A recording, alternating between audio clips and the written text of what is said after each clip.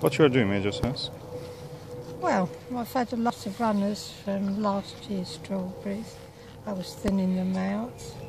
So I dug some up, some of the better ones, the strongest ones, and now I'm repotting them, giving them the best chance that they've got in some lovely compost. They have flowers on them. Yeah, they're flowering, and God willing they'll stay that way. So that's one done. Lovely.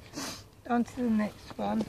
Um, there's another one. So what I do, there's a little runner there, I just break it off, take a little part. I'll just put a little bit, mix these two together there. So what I do, put a little bit in the bottom, then I put the plant in, and then I just... I see the little flowers. Yeah, there's oh, little flowers. There's a little strawberry on that one. Mm. And then they're strong, so I kept the strong ones. Just press it down a bit to give the plant stability. And then what I'll do is just water these with a little bit of flowering um, fertiliser in there. That will just help to shift the flowers along a bit. And when they're a bit stronger, a bit bigger, then I will plant them in the um, proper bed, in the open flower bed. Yeah. There's another one. Now, as good as anything that you can buy in the shop, that's what the shops do. Yeah, that's This also the compost from the council you got, huh? Yes, this Really? is. Here's another one. It's tangled, it's got the old trailers on. So, what we do, we just pull them off. Pull them off. Let's get a bit tough with them, it's not going to harm them. You don't want these. They can, you know, these are the best of the trailers. Get another little pot. And then that's all you do. That's what, you do. Just keep, try and keep it upright and, like I said, um, put enough compost in, press it down.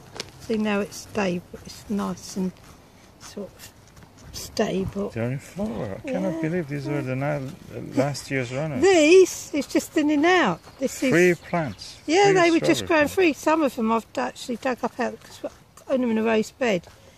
So I dug them out of the ground where they go underneath the raised beds on the runners, and uh, the runners go underneath the beds, and then I found all these little flowers, and I thought, my goodness, there's some lovely little strawberry plants. Don't have to go and buy any. So here's some another one. This is the sort of thing. Um, here's a big one. Again, uh, you know, this uh, just get the old debris off, the old dead leaves and that. And same again. And you know, you can see from the the the video that these are good quality. You would pay good money if you bought them from a shop. Yeah, they look healthy. Strawberries are resilient. They've been growing in um, in forests and wild for centuries. You know, for if not millennia, they've been growing as long as well. Mankind's been around. We had the little wild strawberries, and then they were cultivated. So they're very resilient. They've managed through a couple of ice ages and they still grow. Thank you.